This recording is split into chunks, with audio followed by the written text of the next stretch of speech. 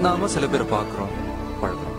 அதுல யாராவது நம்ம மனசுக்கு பிடிச்சிருந்தா இவங்க நம்ம லைஃப் பார்ட்னரா வந்தா நல்லா இருக்குமே நம்ம ஆசைப்படுறோம்.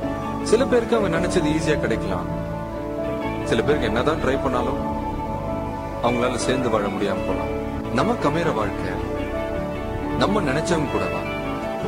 இல்ல நம்மள நினைச்சுக்கிட்டு இருக்கவங்க கூடவா? இல்ல முன்ன பின்ன தெரியாதவங்க கூடவான்னு முடிவு பண்றது நம்ம கையில இல்லை.